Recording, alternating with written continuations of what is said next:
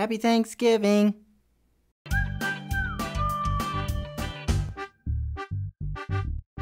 Hey guys, it's me again, Douglas, and Thanksgiving is one of my very most favorite holidays.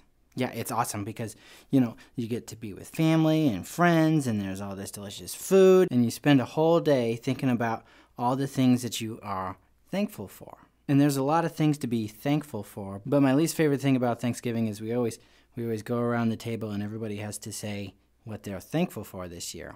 And every time it comes to me, I'm always drawing a blank. I can never think of what to say. And it's not like I'm scared to talk to my family. You know, they're my family. I talk to them all the time. And it's not also not like I don't have things that I'm thankful for. I know I've got lots of things to be thankful for. I just can never think of them in the moment. And I was thinking about that. I was like, you know, why is it so difficult for me to say what I'm thankful for?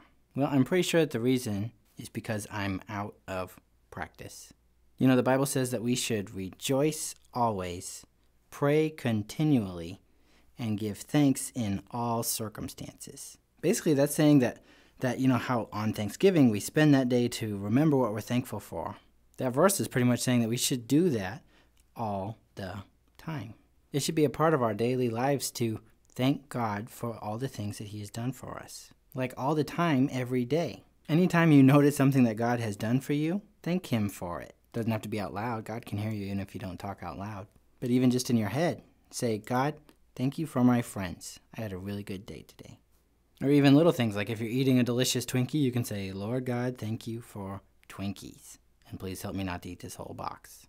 And here's the thing if we start thanking God for everything that we see, everything that we're grateful for, right when we're grateful for it, and we start looking for things that God has done for us and we can rejoice and thank God for those things, I'll bet you'd be surprised at how many things you and I have to be grateful for.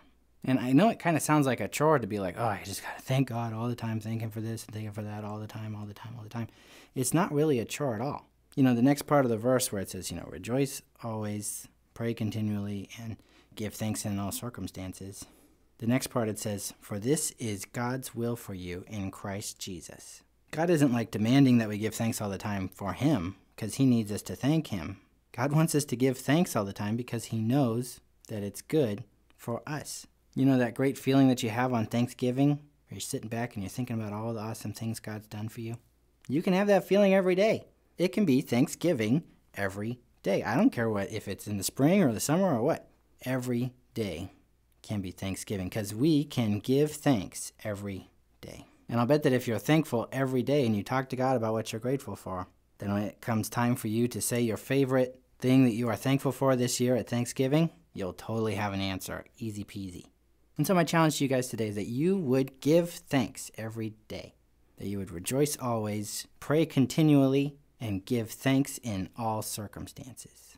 Not just so that you can have something to say at Thanksgiving dinner, but so that you could live in the fullness of the awesome life that God has called you to.